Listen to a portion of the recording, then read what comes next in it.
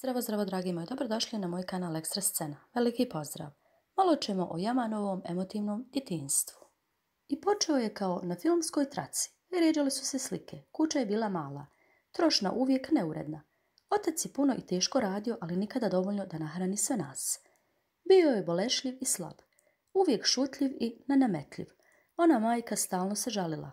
Da smo prljavi, da smo naporni, da otac nije muško – Slušali smo često njeno prebacivanje i ljutnje i očevo izvinjenje. Stalno se izvinjavao što je bolestan, što ne može da radi, što nema novca, što ona ne može kupiti haljinu i nakit.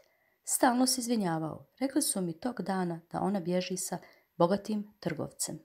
Danas ostavlja. Čuo sam oca da se izvinjava. Da je moli da ne ide. Pao je na koljena i molio hiljadu puta. Očiju puni suza sam je uzeo za ruku i molio da ne ide. Odgurnula me.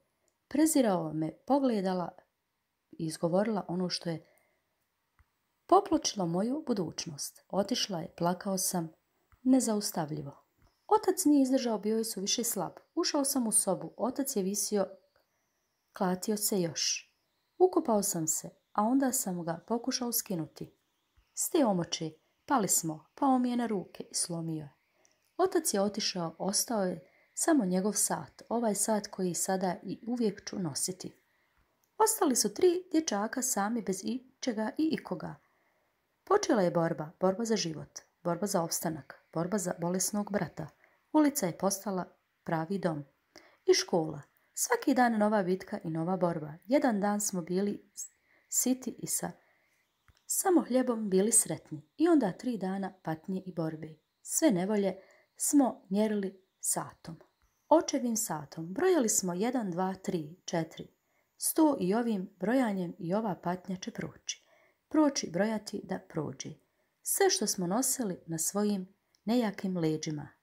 Izbrojao je i ovaj sat i danas broji očev sat. I ovo će proći. Kada izbrojimo i ovaj krug, možda sada dođu bolja vremena. Možda mir konačno dođe i ljubav i vjera da će ovaj sat brojati samo lijepe trenutke. Za nas, za ovaj konak za one koje će se igrati u avliji ovog konaka i avlije naše stare kuće. Dragi moji, ovo je nešto bilo jako emotivno iz Jamanovog djetinstva. Veliki pozdrav!